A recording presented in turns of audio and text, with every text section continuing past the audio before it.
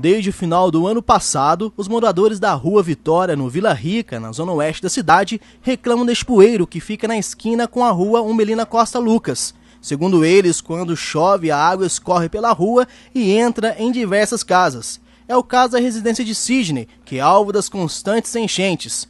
Ele já entrou em contato com o DEMAI, mas até agora nada foi feito. Dizem que vem ver, vem verificar da onde que é, o porquê que está vazando essa água, mas até hoje ninguém veio realmente verificar o que está acontecendo. Ele, o departamento joga para a prefeitura, né? no caso para a Secretaria de Obras. A gente liga na Secretaria de Obras, fala que não é da, da deles, que tem que ver com o departamento, aí fica nesse um jogando pro outro. A dona Maria também está indignada com o problema. Ela mora numa casa nos fundos que é invadida pela água suja que sai do bueiro.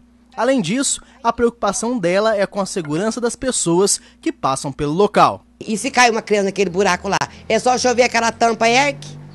É só chover, uma chuvinha de nada que ela está resolvendo. Já tem alguém naquela lá, ó. Como é que não vamos fazer isso daí? Com quem? Com quem que nós vamos resolver?